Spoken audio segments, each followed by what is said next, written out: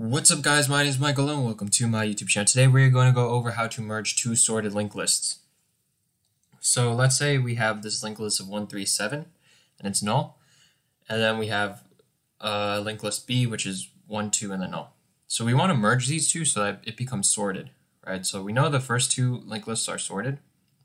And we want to return the final linked list where they're all sorted in sorted order. So imagine you just uh, like have all these numbers. This would be 1, 1, 2, 3, and then 7. And all these values are just going to be sorted. So we have, basically we have the same same numbers in both of the lists, but now they're all sorted, right? Okay, so that's basically what we want to return. So we have the same numbers 1, 3, 7, 1, 2, but now they're all in sorted order, and it's in one giant list. So yeah. All right, I'm going to go over how to do this problem because uh, I feel like there's not much other to explain. Okay, so first of all, let's see, let's say we got let's uh, I'm gonna do it recursively by the way. So let's say we have one, three, and seven, and this goes to null. And then the second one we have one, two, and a null. Whoops. and this goes to null.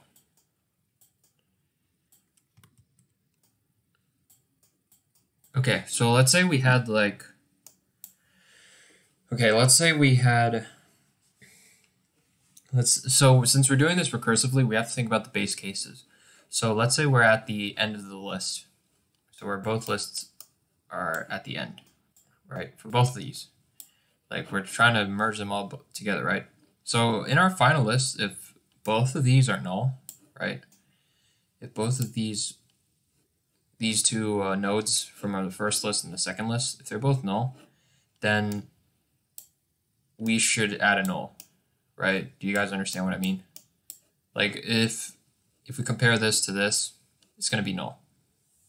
Our final list has to have a null. The reason why is because like, well, they're both null, so our final list has to have a null, right? So if if the if any of the nodes that we're going looking through are null, then uh, our final list has to point to a null. Okay, has to return null. Likewise, if um, now let's say that we're comparing null with like two, right? So if we're gonna insert all these values to the final list of like one, one, two, three, seven, null, um, if we're comparing a null with like just about regular value 2, we need to return whichever that's not null, right? So if um, if I'm at like this point and this part is null, right? Uh, if I want to add my value to the end linked list, then this whatever I'm returning, I it has to not be null, right? Like um, let's say we had a one one two three seven, right? So we have this list and this list. If I'm gonna insert, uh, let's say we already inserted like all the other values, like 1, 1, and then, uh, this is not a good example, but anyway, if, if we're at this point where we have 2 and then null in, at, at this location, then we have to add whichever value that's not null, right? We have to add 2 here, and then go to the next one, to the next node that we're adding. You guys understand what I'm saying, right? It's because like if, um, if you reach to a null, that means that you're at the end of the list for one of the lists, right? So you have to continue on the other list. Do you know what I mean? So like if, um, so let's say I reach the end of the list of this list of null. My other other node is still looking at the other list because it's they're not the same size, right? Then I have to add whichever value that's not null, right? I have to add like seven here or something, right? So that's what depends on the linked list. So those are the two, uh, those are the three base cases. So the three base cases are if they're both null, so if, if the first node that I'm looking at is null and the second one is null, then I have to return null. And that's the case when both of these are like at the end, right? At the end, then I have to add a null.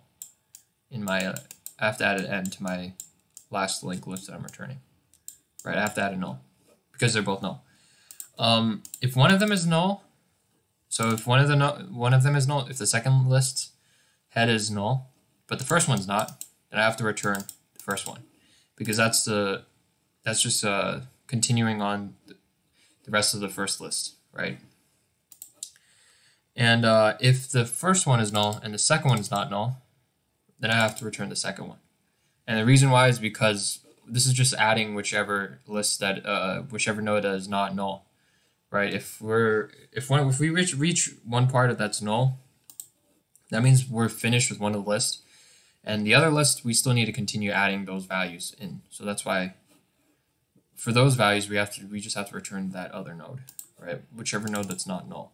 So heads two is not null, then we return head two, right?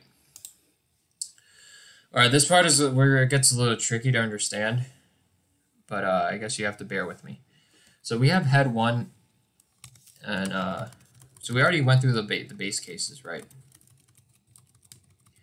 So let's actually go over, go through an example test case of the current test case, and then we'll see how this actually affects anything. So if we look at the first test case of uh, one one one one three seven null and then one two null.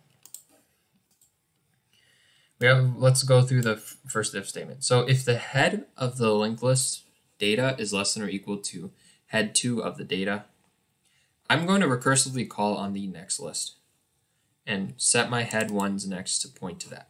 So what does this mean? This means that so let's say let's say this is our this is our head right this is our head one head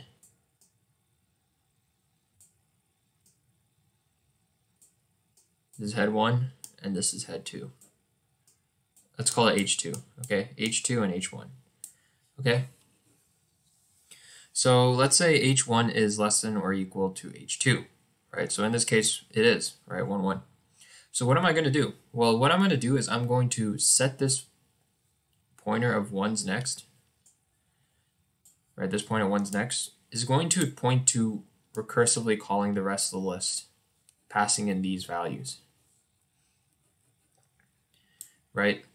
So this head 1, this head 1's next, this 1 is going to point to the rest of the list, passing in the next of the value, right? Merging in the, the rest of the list of that value. So then it would be 1 point to whatever that is merged with uh, 3, 7 null and 1, 2 null, right?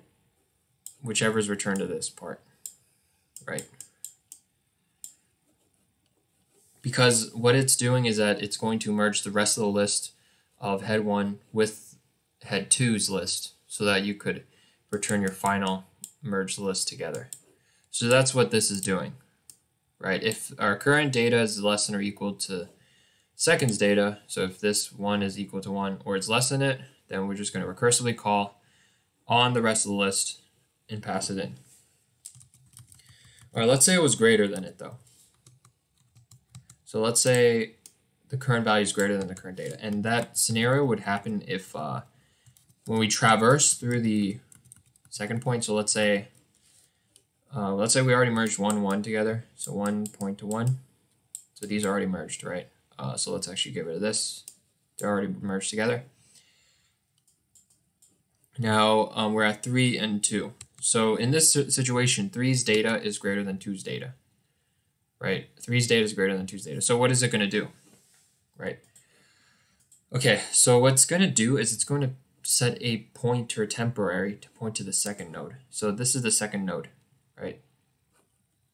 This is the second node, uh, head 2.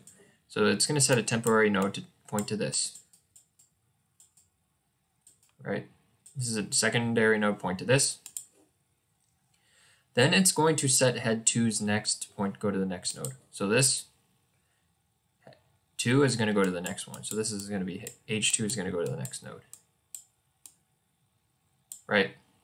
So now this is technically gone now, or this link is gone technically. So H2 is now goes to points to the next node, which is null, and temp points to 2.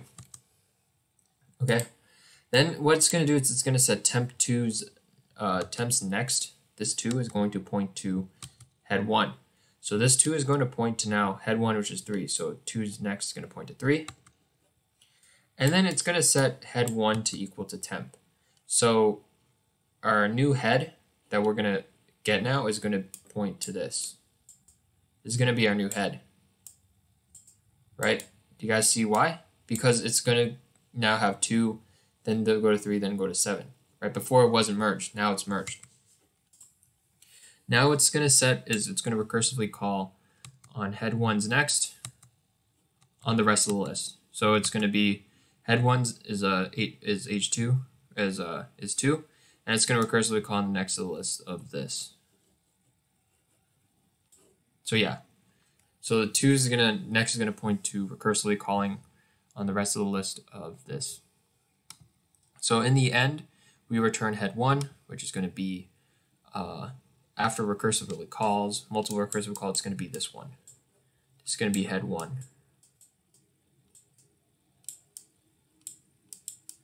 And then we're going to return this new head.